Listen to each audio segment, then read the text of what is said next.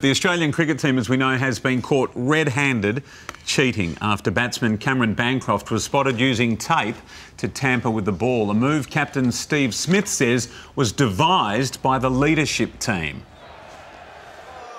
I'm embarrassed. I know the boys in the shed are embarrassed as well. Um, and I, I, feel for Cam as well. Um, you know, it's not, it's not what we want to see in the game. It's not what the Australian cricket team's about.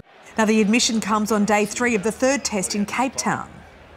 To tell us more, we're joined this morning by Andrew McCormack from Outside Cricket Australia in Melbourne and Simon Reeve in the studio here with us. We need to call this exactly what it is.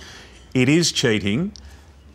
It's almost unthinkable that the Australians could imagine they'd get away with it, Simon. Definitely, Baz. Look, I think the Australian cricket captain is considered to be the most important position in Australian sport. So when you take that job, you take all the responsibility and the moral authority. I think that's important that goes with it. So, what Ange said before, Ange Mollard, I think the stupidity of this decision mm. goes through the chain of command. So Darren Lehmann, we don't know if he was complicit in this as well, but they say no. a lot of people are saying they think yes, you know. Mm. So the fact that they thought that this was a good idea with all the cameras that are on, with all that young kids are looking up to these mm. guys as role models, and that's what they are, that I think is what we're wrestling with right now. And that's why so many other cricket legends and greats of the game are now coming out and saying that, hang on, you know, we, we can't blow this through, that Steve Smith and this leadership team have a lot to answer for here. Yes, uh, uh people are saying that an apology isn't enough. Andrew, Steve Smith says that he won't step down as captain. What are the repercussions here?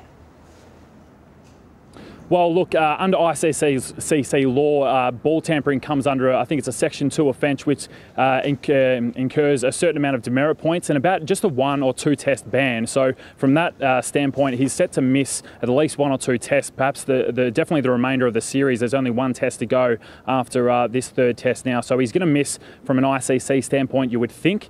Now, uh, along with Cameron Bancroft, now Smith doesn't want to resign at this stage, but I mean, the fact that they conspired. It wasn't just a, a heat of the moment, uh, see the ball on the ground and you know rub it against a spike on your shoe or you know something on the ground. That they conspired, you know, to do this quite deliberately, uh, and uh, it was involving a number of senior players in the team, the leadership group. You'd have to think that that would involve mm. vice captain David Warner, Nathan Lyon, another senior member of the yeah. team. So, uh, but the other thing is who replaces Steve Smith. That's that's a message uh, that Cricket Australia are going to have to get across. Quite today. right, given that they're all complicit. Now Shane Warne, who's had his own pitfalls and uh, trials and tribulations, as we know, has condemned the action.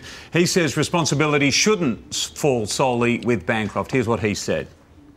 I feel a bit for Cameron Bancroft because I don't think he's taken it upon himself to do something and put it in his pocket. He would have been, now who's told him to do that? How does he say, well, you're the man that's going to do that? I don't know what that process is, so it's important to find out that. The issue for me here too, Simon, is Cam Bancroft, a young man in the team, wants to earn his place. Mm. Did he feel like this was the way to earn his place? And if he feels that, what does that say about the or culture in the team? Or did he feel under pressure to do it because he's not a senior member of the team? That's right. The forensics of this mm. incident over the next few days will be fascinating. But I think that, you know, I, I look at a guy like Steve Waugh and think, you know, he was my, like, idol yeah. in this in the sport of cricket and I don't think he would ever condone anything no, like certainly. This. One thing we have to say too, the Aussies, and particularly our Aussie cricketers, very quick to point the finger at others. Completely. As recently as this Test match yep. series, now it's being pointed squarely at us. At least they did admit it, but really they had no choice because the cameras captured them Absolutely. red-handed. So this does call for an absolute and total review. Completely. I always say I want to like the Australian cricket team. They're my team. I really want to like them, but I struggle all the time with this sort of stuff. Yes, indeed. All right. Well, we are out of time, but uh, we'll be discussing it throughout Thanks, the morning. Simon. Thanks, Andrew. Uh, yeah, as people's reactions come in. Andrew and Simon, thank you.